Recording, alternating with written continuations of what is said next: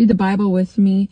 James chapter 3 verses 15 through 18 says that for jealousy and selfishness are not God's kind of wisdom. Such things are earthly, unspiritual, and demonic. For wherever there is jealousy and selfish ambition, there you will find disorder and evil of every kind. But the wisdom from above is first of all pure. It is also peace loving, gentle at all times, and willing to yield to others. It is full of mercy and the fruit of good deeds. It shows no favoritism and is always sincere. And those who are peacemakers will plant seeds of peace and reap a harvest of righteousness.